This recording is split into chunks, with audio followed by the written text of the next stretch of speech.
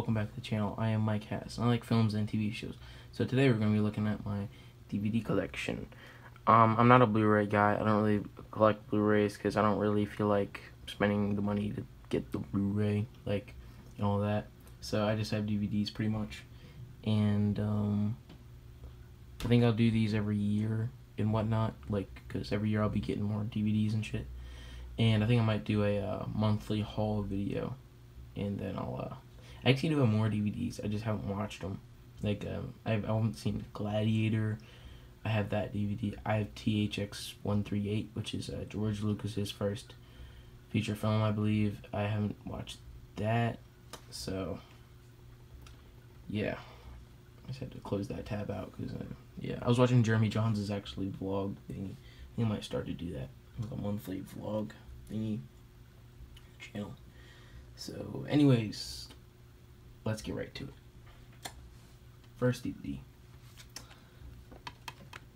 Fellowship of the Ring. So, honestly, if I'll be real, I like The Lord of the Rings better than Star Wars because Star Wars is like, first off, it's on a decline, but I've always like preferred certain Star. I don't know. I think this is better than Star Wars, but the um the third I, am one of those people that thinks that Revenge of the Sith is like the best Star Wars movie. I love the prequels, if I'll be honest.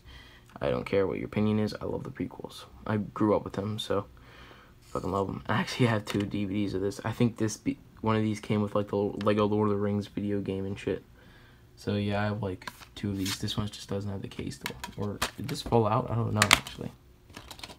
Oh shit. actually, I have another one. Just lost somewhere there? Oh shoot, look at that though. Look at that. Like the ring. Language of Mordor. Okay. Next one. I wonder what the next one is. The Two Towers, the second Lord of the Ring film. I love how the um DVD is like red and shit like that. I, that that's awesome. I thoroughly like. I just like. That's great that they did that. And this is messed up, but uh, who cares? I'd rather at least I have it. you know, I don't really care the condition of it that much. I just care about having it. So yeah, let's take a look at the inside if you want. I really like what they um. I like how they did one tower right here, one tower right here. What's weird though is that this tower doesn't have the eye in it, which would make sense if they did that for the second movie. Because at the end of the, that doesn't really make sense at all. Because you never see this without the eye. I don't know. Maybe that's a mistake. Maybe it was just I think that's a mistake, if I'll be honest. But yeah, two towers.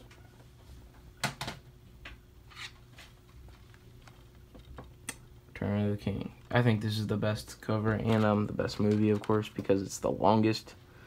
And uh, I don't know, it just feels so amazing. This movie, this movie. I gotta read the books. Like I haven't, I haven't read them in a while, and when I did, I was like nine, so I skimmed through the entire book. So yeah.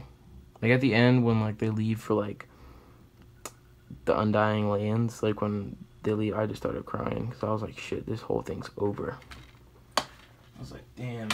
And the movie got me crying. And this is just a F3 film collection. It just has all three movies in it. This is like the first Lord of the Rings DVD I've ever gotten, actually. See, it just has all three. Really bland, but it was good to have. It, it, served its purpose when I got it, but when I wanted to get them individually, I was happy, very happy. Three incredible films, one collection of rule them all. Ah, uh, yes. So we got Hobbit. Always thought the Hobbit were really underrated. I love how Bilbo Baggins like transformation. You know, his character. This is like a key example of character like development like in stories because you get to see his character change from like this little bitch ass guy who just like wants his tea and his house clean and shit, but then he like decides to have fun and enjoy adventurous things in the world and and I, I this trilogy very spoke to me. I always thought the um third one I love because it's just one big action sequence. People say that oh it's not good because of the big action sequence. I actually liked it. From my point of view, I think it's good. The best one is the uh, best Hobbit film is the first one, Unexpected Journey. This is really messed up thing. First one, the best one is Unexpected Journey. Thoroughly love that one.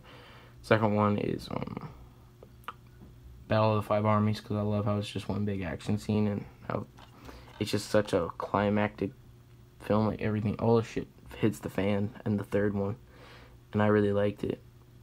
And also the uh, Lord of the Rings setup thingy was done very well. And uh, yeah, battle. And then the third one is the second one. Because the second one was a lot of talking, but then the ending was very good at the second Lord of the Rings one. So we're gonna get to another franchise. A lot of people don't like the sequels. I think the sequels were pretty good, but uh, couldn't match the first two. That would be Pirates of the Caribbean. The first one was really good. A lot of people say it's the best one. I think it's the second best one.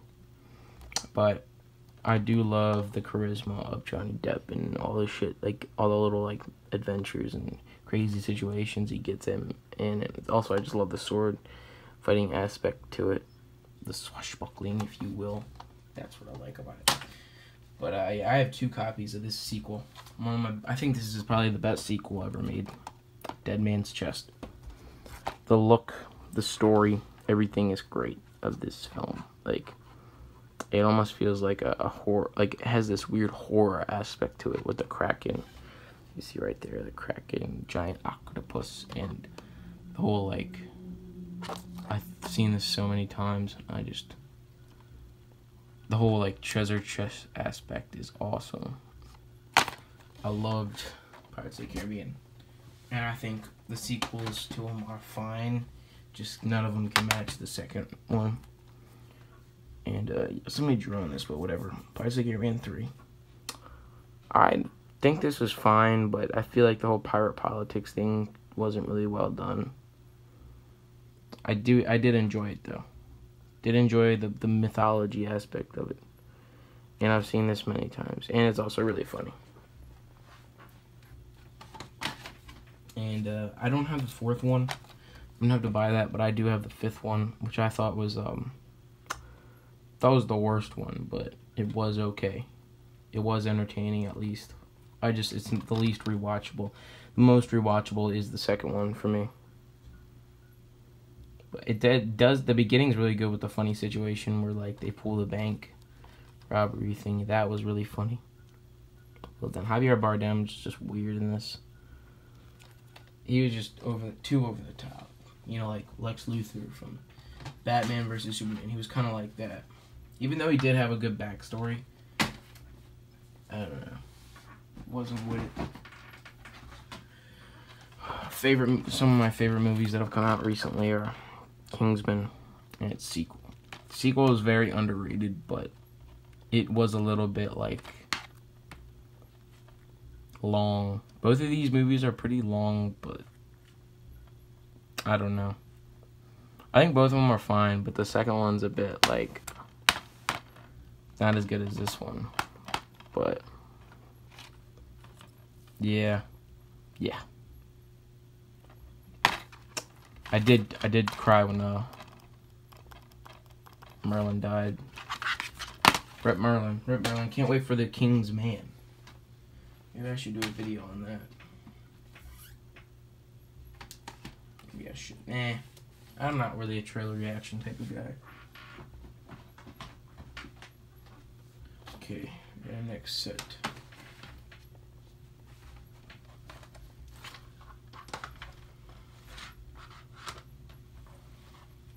Okay. Get the Mad Max movies. This is the first Mad Max. Very thoroughly enjoy this. I think this is um I'd have to say the second best in the franchise. Uh, I think this is criminally underrated. I loved how just it was like it's so much visual and it's just amazing just it's just fun it's very fun and shit it's short it's fun and short you know but it also manages to be serious and have really just crazy moments with for our characters and you really just get to see like how fucked up he gets after like seeing all this really bad shit happening to his family I think this is second because you can't like I don't know. I just think it's underrated. I think The Road Warrior, very good film, but I don't know. I think Mad Max Fury Road's number one, Road Warriors number three, and first Mad Max number one. Beyond Thunderdome the fourth one because it just had less car action. While it was, the Thunderdome aspect was really cool, but I feel like it should have just been more like on the run. You know, I did like how they went more into like the like how how the world became like not how, but like they went more into the aspect of the nuclear war that happened, visiting old places that have been nuked. This is the uh, thing. The title seek the title card on this is horrendous though. It just looks so like shitty. But the uh, movie itself is uh, fantastic and it's probably the best sequel ever made, next to um, Dead Man's Chest.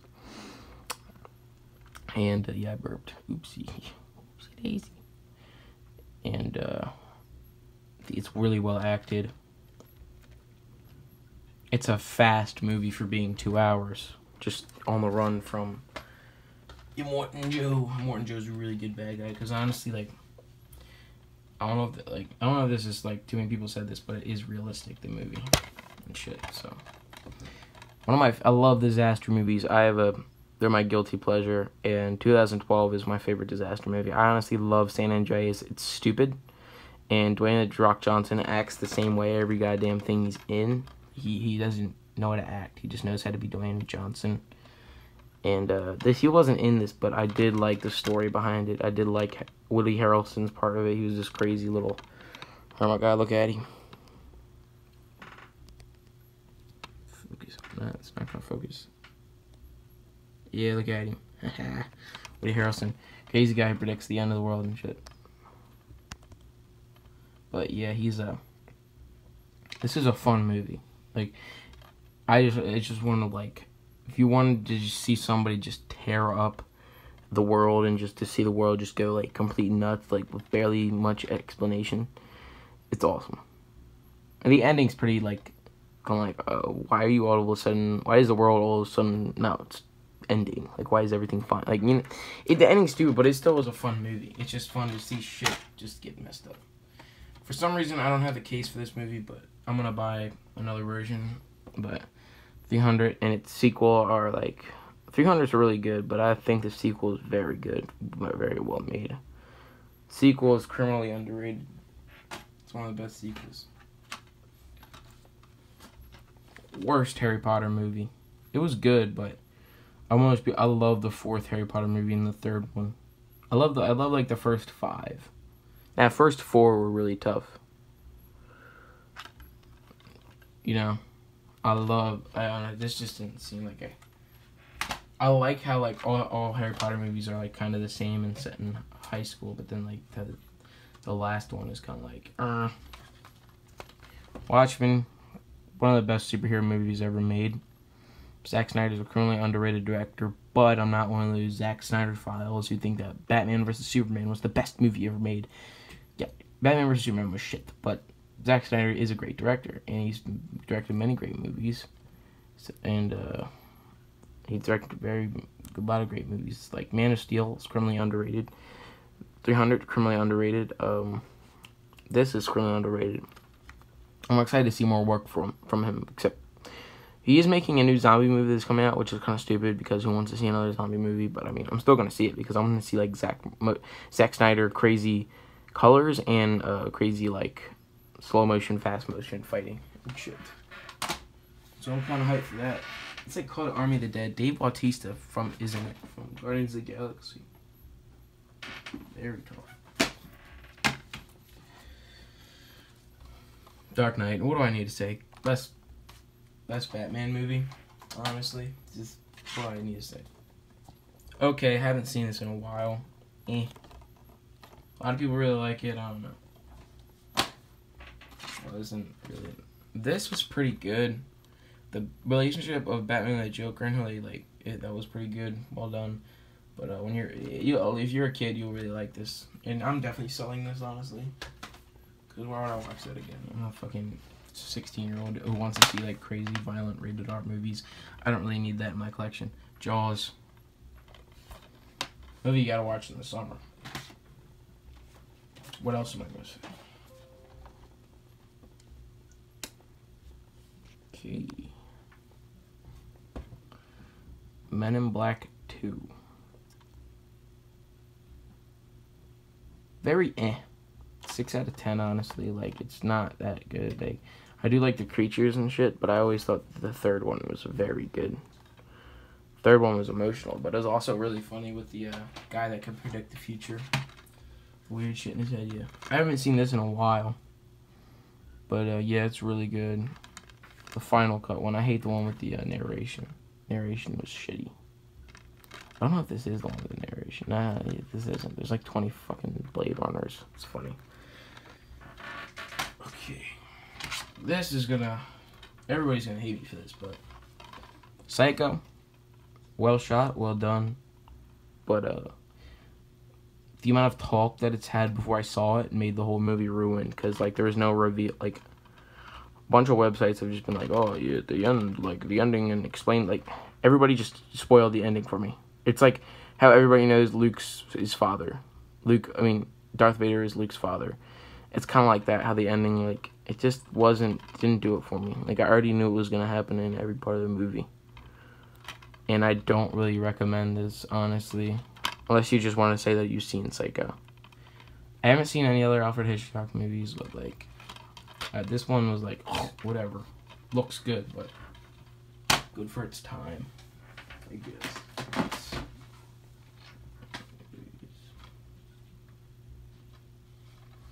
So this is a Silence of the Lambs and Hector and Hannibal. Haven't seen Hannibal, but I like Silence of the of the Lambs. It's a really whack movie. Reminds me of my Mindhunter. Reminds me of that.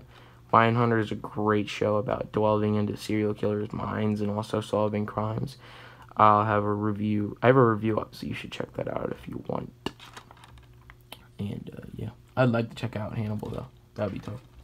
Jodie Foster did great in that movie. So. Goodfellas. Thoroughly entertaining. I do watch, even though this is really good, I have to say that I do watch Casino more than this. I gotta get Casino on DVD, but Casino is just, um, it's a, it's like Goodfellas on crack cocaine. It's just like so much of Joe Pesci just beating up people for money, but it also does have a good story. But Goodfellas is a more well done movie, but I do like watching Casino over and over again because of how crazy it is and how long it is. Casino should have been like a mini series on cable. That's how long it is. It's like a three, literally three hour movie, but like it's worth it. But like this one is mo most well done. But uh, I haven't seen this. I I've seen this in like I haven't seen this in a year, but it's more well done than like I like this more than Casino, but I watched Casino more. I gotta watch this again though.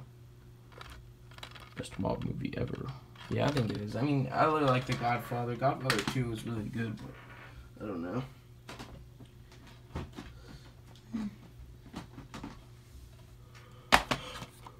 I, I have a bunch of um, Tarantino films in my Amazon cart, but I have a Reservoir Dogs special edition. Came out 2002. Found it at a thrift shop. Very great film. I think I might do a review of all like Tarantino films, honestly very good movies. Um, yeah. All dogs? Basically about crime, like a, a bank robbery and shit. So. Slumdog Millionaire. That's what came in one of those dollar store packs where you like don't get a case. Great movie. I love how just like the characters. Like, I love the characters in this and it's just like a slice of life. Like you just get to see like how each character ends up in India and or what they do in India and how like travel and when they're kids and when they're teens and it's just like yeah it's one of those movies like the end of the movie you look back at it like an old like an old man you're like back in my day and uh yeah this is like the three pack thing i still gotta buy the individual disc for this Pulp Fiction, Jackie Brown, Reservoir Dogs, but uh, this is like first time watching a Tarantino thing, I was at Best Buy and like I got this for like five bucks, and I because I just the hype of Tarantino and I checked it out. It was like a year and a half ago or something. Ever since then, I've seen like almost all his movies. I haven't seen a, a Death Proof yet. I just watched Django two nights ago, so expect a video on him soon. Rushmore, I'm doing a video on this for show. It's like a, I did do a video essay on it because like this movie is like speaks to me. It's like 10th grader. He's like has all these obsessions with like clubs and stuff at school and then he ends up like becoming obsessed with like a teacher and stuff. I didn't I didn't get obsessed with teacher, but like the fact that he's always like obsessed with shit and it's like a quirky Wes Anderson type thingy. And uh yeah, and Bill Murray's in it. Bill Murray's a god, so it's music. Napoleon Dynamite. I have two vote for Pedro shirts from this film. So yeah, I love Napoleon Dynamite. I've actually seen interview with the actors in Philly, and uh, I, I it was like a whole Q and A thing, and we watched the movie with them. It was really tough, and um, yeah, really nerdy, nice film that speaks to me and shit, and just has funny moments and I've rewatched it like every year, and uh, it's just kids doing fun stuff, and I really dig it. Really dig it. I'm gonna go a bit more fast now. Spy Kids 2. Over the top movie made by Robert Rodriguez, but it's also like kitty in a way, and I think it's pretty fun to watch, honestly.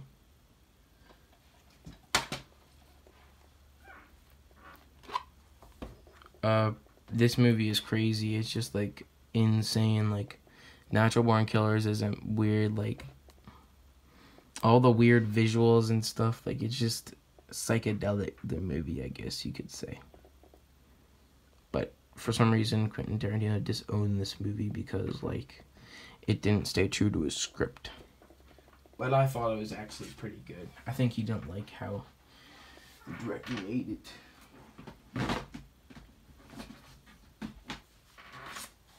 Chocolat. My mom's favorite movie. It's okay. It's just like a rom com, but it is it has its own special thing, and it makes you want to eat chocolate. So whatever.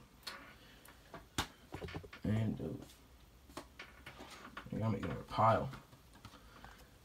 Rudy, very inspirational movie. Uh, if you're feeling down that you can't do anything, watch this because it's about like just you know following your dreams and whatnot. And it's played by Samwise Gamgee from Lord of the Rings, so it's cool to see his face again and Jon Favreau from uh, Iron Man's in it.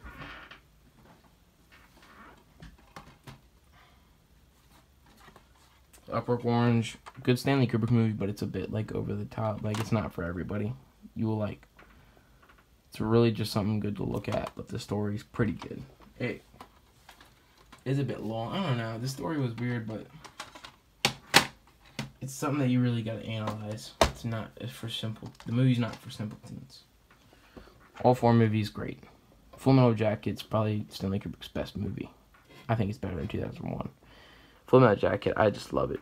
it everybody's like, it's what war, like the, it's the, it's, people say that like Full Metal Jacket is like really accurate to work because it shows like young boys when they're young and going into like the army and shit and becoming killers and then all the sad stuff that happens when you're in war. Like everybody, like Full Metal Jacket's really good. I gotta get its own, my own copy of that for for real. Two better than the new Star Spider-Man movies. The Spider-Man. Spider-Man. I think the uh, Raimi ones are better, more well done stories, and um, the character of Tobey, like Tobey, like how he doesn't have a lot of money and how he like why he does what he does. And, like the characters have more depth. Like, but like in Spider-Man Far From Home, it's like everybody just gets what they want and oh, I get the Stark Tech. Like he's such like a like a rich kid who has all this shit, and it's not really thoroughly explained how he has all that shit. Like Spider Man is kind of like just a version of Iron Man because he has a. It's all like technical based in the new Spider Man, but like the old ones were down to earth. Like I feel you. And uh, this is the extended cut. Spider-Man 2.1. Very good one of the best superhero movies. What more can I say? Give it a watch. I would like to make a video on why I'm getting sick and tired of superhero uh, movies and how I, what movies I like to see come out more and uh, what movies I'm anticipating. So yeah, yeah, okay.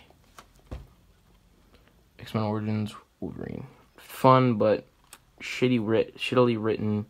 The opening montage, I remember I watched like a review. It was like Chris Stuckmann's Hilariocity review of this, and he said the opening montage where they're like Wolverine and Sabretooth are in all all like wars, like a montage of how they're like, because you know they live forever, so they've been in all the all the wars.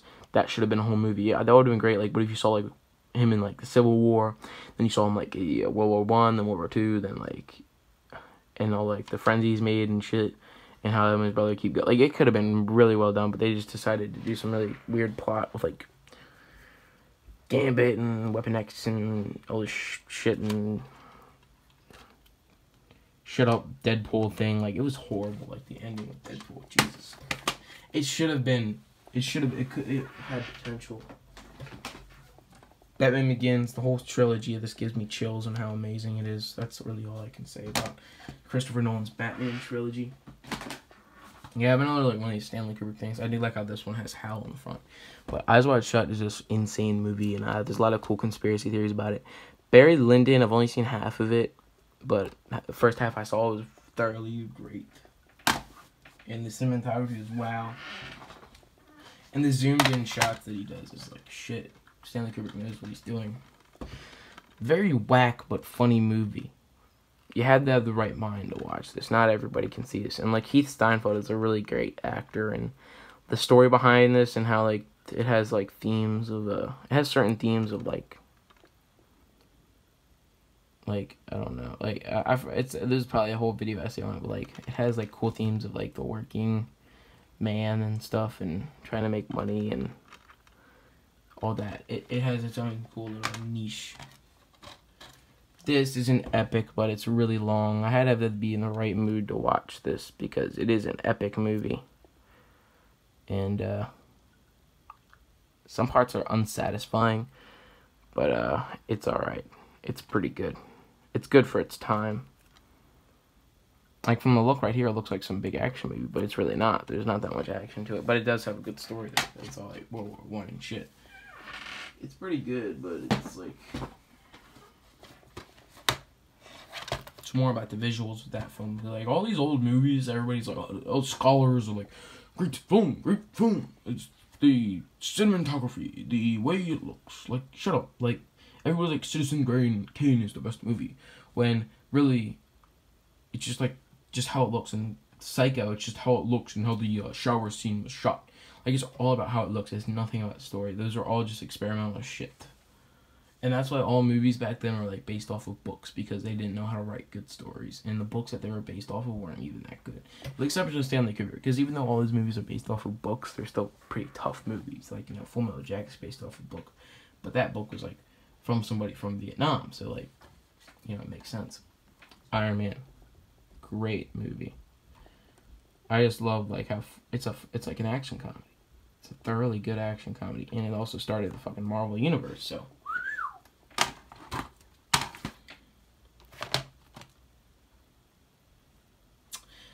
Bottle Rocket. I don't know what to say. I gotta do a video essay on this, but this is like amazing. Like the the way it just looks and everything about this movie. It's just not the way it looks, but like the characters are like really like funny and it's all like Wes Anderson quirkiness and awesome moments for the characters. It's all character based. It's less like superficial. It's less like high octane action thing. It's just like a fun movie with fun moments for our characters, and it's a it's a touching movie. It's a good touching movie. And um, Fantastic Mr. Fox, one of my favorite movies. It's just well done, artistic, awesome, funny, hilarious Fox stop motion movie that's just well done. One of the most underrated trilogies, but uh, it's more. These are dumb movies, but they're fun. But they're not like intelligent. But um, Mexico trilogy, El Mariachi. made for seven, made by Robert Rodriguez and Desperado, fun action. Steve Buscemi's in that one. Steve Buscemi, you must watch it if Steve Buscemi is in the movie. Because Steve Buscemi is a god. Once Upon a Time in Mexico, very fun. One of the first movies shot on digital, which is really interesting. I'm shooting on digital right now. I'm shooting on my freaking phone right now. But um, thoroughly enjoying Trilogy. Um, I don't know why. It would have been cool if the main actor from the first one was in the second movies, but I guess not. At least have to recast it with a more famous actor. Like, that's stupid. Honestly. There is good times to recast. It's just Robert Pattinson. Because Ben Affleck was a really shitty Batman, but... You know what I'm saying. Upgrade. Upgrade. Oh my god. This movie is fantastic. It's like... This guy's girlfriend, like, uh, dies. And then he, um, ends up getting paralyzed from the attack on his girlfriend that happened. And, um, he ends up getting given this thing that makes him have this, like... That goes into, like, his spine and re-engineers him and this robot helps him out and then he ends up using this robot's powers that's inside of him and to uh, get revenge and shit and he ends up going to this dark path and it's really dark movie with the twisted dark ending and uh, people are like it's like a twilight episode like about the effects of technology i don't know i haven't even seen a twilight episode i don't feel like, feel like watching it i hate shows from the 60s or like black and white i don't care for it but uh, i thoroughly thoroughly like this movie really liked. I think I might do a video essay on it or do like a live. I don't know. That's a movie I want to make live. Think about Bourne movies overrated, pretty good. More about the. It's all I don't know. Nothing really stuck out with me those movies. He was like, oh yeah, it's great action movie with great cinematography, good character. Like, I don't really care, if I'll be honest.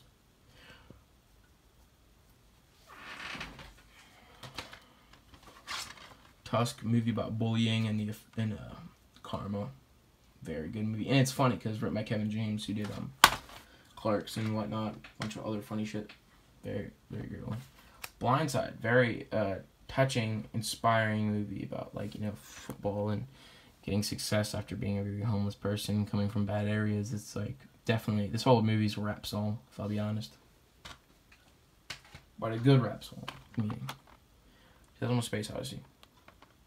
Very good film, not Stanley Kubrick's best, but Interstellar is a very good version of it. Is the better version of this movie. Interstellar is the most underrated movie of all time, and it's my better than it's the best Christopher Nolan movie. It's better than The Dark Knight. I don't care what you say. It's amazing. But uh, yeah, that wraps it up.